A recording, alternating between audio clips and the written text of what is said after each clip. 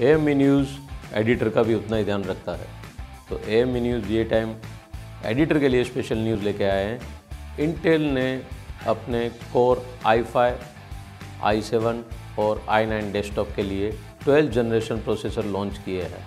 The first Intel processor that makes use of Elder Lake hybrid architecture which combines the power of efficient cores and performance cores to handle virtually and computing tasks. Low voltage efficiently cores efficiently multitask backgrounds and tasks while the performance cores are designed to push the limits of computing with reduced latency and significantly improved general purpose performances according to the Intel's testing.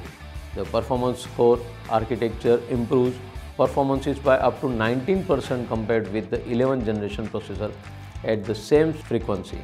Other advances including supports for both DDR5 4800 and DDR4 3200 dual channel memory. This process covers the broad range of users तो जितने भी editor हैं वो उनके upgrade कर सकते हैं machines तो आप ज़रूर से आपके मशीन्स नई सीज़न के लिए अपग्रेड कर सकते हैं। इस वीडियो को लाइक शेयर और हमारा चैनल्स को सब्सक्राइब ज़रूर कीजिए और बेल आइकन प्रेस ज़रूर से कीजिए। If you want to give any type of latest information small हो या बिग हो but related to photo videography industries के लिए रहेगी तो हम वो हमारे न्यूज़ में कवर करेंगे।